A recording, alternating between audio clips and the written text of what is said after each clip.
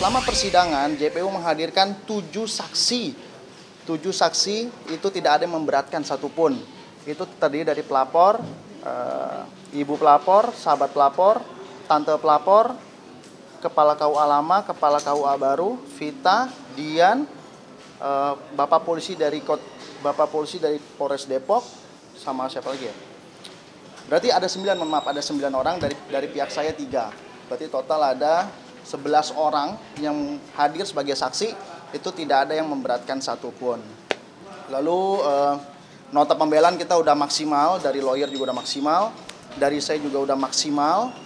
Dari setiap kejadian yang saya alami, yang saya rasakan, yang saya lihat itu benar-benar saya tuangkan dalam nota pembelaan.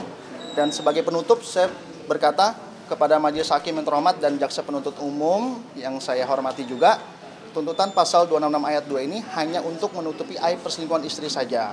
Saya seorang suami yang dijolimi oleh istri saya sendiri supaya aib perselingkuhan ini tidak tidak terbongkar. Da- dari situ saya sudah sampaikan juga eh, ya paling senjata terakhirnya adalah doa.